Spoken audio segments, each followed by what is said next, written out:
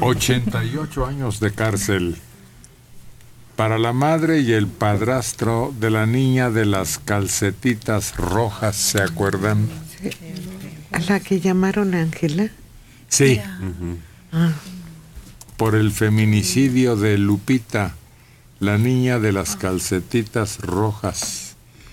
El juez sentenció a 88 años de cárcel a la madre y al padrastro. Consideró que Pablo y Yadira son los responsables de la muerte de la pequeña ocurrida en marzo de 2017, cuando tenía cuatro años de edad la menor. Recuerdan a calcetitas rojas. Además, ordenó que sea registrada como Guadalupe Medina Pichardo, porque sus padres nunca la llevaron ante esa estancia para conocerla de manera oficial. Los tres hermanos de Lupita tendrán que ser apoyados por las autoridades para que puedan tener educación desde nivel básico hasta superior. La Fiscalía del Estado demostró que la pareja golpeó a la pequeña hasta causarle la muerte el 18 de marzo de 2017. Pablo y Yadira se enojaron porque la niña sus necesidades las tuvo en la cama mientras dormía. La mujer la castigó a golpes primero, después Pablo la violó y le jaló de las piernas para azotarla contra el suelo, lo que le causó la muerte. La envolvieron en una cobija, la trasladaron hasta la avenida Bordo de Xochiaca y abandonaron el cuerpecito. Un vecino localizó los restos más tarde. Estaba con una sudadera verde, un pantalón rosa y unas calcetitas rojas. Es lo que portaba la víctima. Nueve meses después de los hechos, la madre y el padrastro, detenidos por las autoridades, se comprobó que Yadira era la madre biológica, así como compartícipe, copartícipe del feminicidio. La niña presentaba síndrome de maltrato infantil. Un día después de su muerte, al ser golpeada por sus agresores, como sucedía con frecuencia, en septiembre de 2018 Pablo fue sentenciado a 21 años de cárcel por violar a otra de sus hijastras de 14 años de edad, hermana de la pequeña Lupita.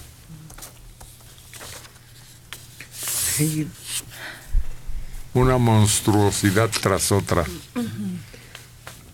Y fíjate, en este caso en particular, fueron los vecinos los que buscaron el apoyo de una asociación para que se hiciera la investigación y detuvieran a los papás. A la niña cada rato la mandaban a la calle, la dejaban sola en la calle. De repente entre los vecinos, así como a un perrito callejero, todos le daban de comer. La resguardaban unas cuantas horas y la regresaban. Algunos vecinos comentan, para no tener problemas, una de ellas la quiso prácticamente adoptar. Se la quiso quedar. Fue la madre y se la reclamó como, es mi hija, es mi. Después le quisieron sacar dinero a la señora y ya mejor dejó a la niña. Entonces cuando la niña regresa a manos de estos animales, es cuando pues cometen ese tipo de atrocidades, pero es la asociación la que impulsa, la que mueve todo para que sea la autoridad que haga justicia, si así se le puede llamar a esa corta castigo que le dan a estos brutos. Hay promiscuidad, hay un intercambio de personas, y aparentemente son una familia, pero la familia de los horrores. Terrible. ¿Te acuerdas aquel caso de una abuela que utilizaba a la nieta? Se la daba al marido y luego la alquilaba prácticamente con otros hombres de la comunidad. Y eso fue en Chiapas, me parece. Y varios casos así, en donde muchas veces uno ve lo que ocurre alrededor y dice, quién sabe, es una familia bien rara, pero pues allá ellos. Pero estás viendo a los niños. Los niños inconfundiblemente se les nota cuando son amados, son cuidados o no. Sí, son, no van a la escuela, son golpeados, se les nota. Se, tienen signos exteriores de haber sido golpeados, tienen desnutrición y pues eh, la, la, bestialidad de los padres que es aparente. ¿no? Pues ayer precisamente tres bebés fueron abandonados en la vía pública. Tres. Tres, uno tras otro. Y uno de ellos es, era una, es una niñita. Pero es que estamos dejados de la mano de Dios, de veras. Ni moral, ni educación, ni cuidado, ni responsabilidad. Es deplorable. Tres bebés nacieron en puntos distintos en la Ciudad de México y compartieron el mismo destino, abandonados el martes fue encontrado un recién nacido en una caja de cartón a la entrada de una primaria en Coyoacán. El bebé fue trasladado a un hospital pediátrico ahí mismo.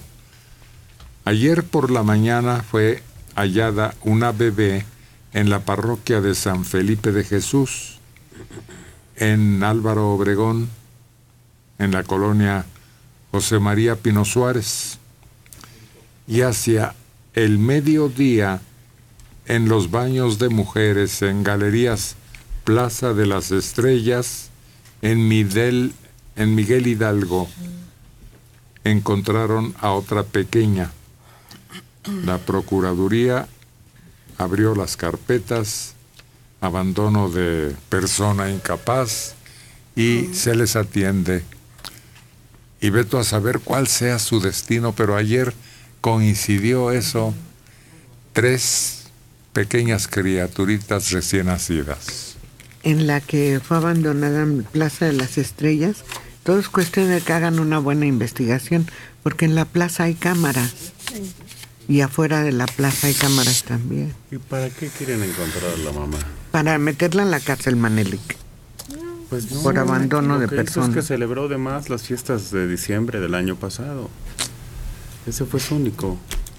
Ah, ya, ya, entendí. No tiene ningún otro. Y, y mejor los niños entregados en manos de gente que está por lo menos revisada a estos criminales que viven hacinados y por eso violan a las hijas. En el mejor de los casos los abandonan pero es el resultado, yo creo, de aquellos que muy fácilmente dicen, pues es mi cuerpo y qué, y hago con él lo que quiera y qué, y a mis hijos ah, los educo como quiera y qué. Pues sí, el problema es que se convierten en un problema general para todos, con el que todos vamos lidiando todos los días. El simple hecho de enterarte que eso ocurre te afecta. Saber que tus hijos se están desenvolviendo en ese ambiente también afecta, porque están en todas partes, porque eso te lo puedes encontrar en todos lados. Mm. Gente enferma, dañada, descuidada.